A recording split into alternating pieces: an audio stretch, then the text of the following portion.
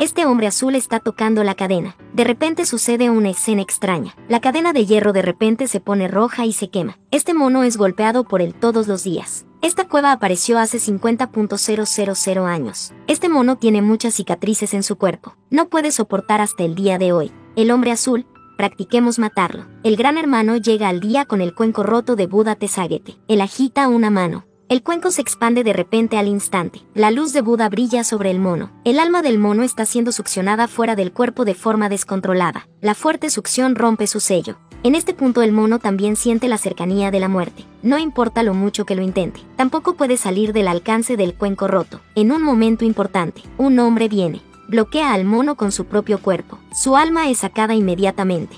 Entonces su alma es absorbida por el cuenco. En este momento, romper el alma del cuenco también está agotado. El cuenco cae en la mano del mono. El mono no puede creer lo que está pasando. Ese hombre morirá por él. Esos dos hombres extraños ven que no pueden matar al mono. Planean escabullirse en otro lugar. Pero antes de irse, ambos giran la cabeza. El mono vuela directamente desde atrás. Solo una patada de mono. Ese poder ha absorbido todo el cuerpo de dos hombres extraños. La explosión luego se convierte en cenizas. El mono ve el cuenco roto en su mano. Quiere cumplir su deseo. En poco tiempo se convierte en un dios de la montaña y sale al mundo. Rescata a la mujer colgada en la pared. En este momento la gente está sufriendo los estragos del mundo de los demonios. Cuando lo vuelven a ver, todos están muy felices. Incluso habla sobre la gloria pasada. Un hombre no puede soportarlo y le da un puñetazo en la cara. Pero la velocidad del mono es tan rápida que no se puede ver claramente. El mono recoge al azar un palo del suelo. Golpea el cuello del demonio eléctrico tan fuerte. El hombre volando directo al cielo. La princesa de la corte imperial no puede mirar directamente a la escena. El mono no se siente bien cuando esos dos hombres lo torturan.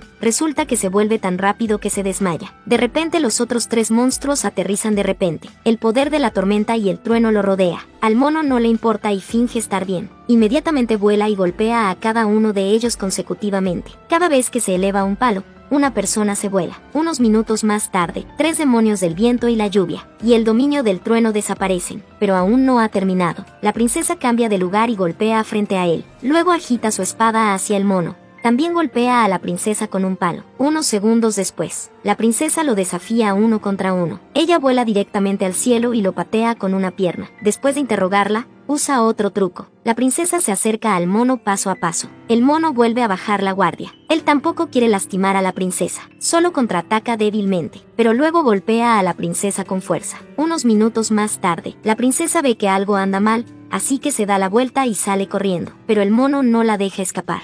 El mono grita, los ciegos aparecen rápidamente. El mono llama a su transporte muchas veces seguidas, pero no tiene respuesta.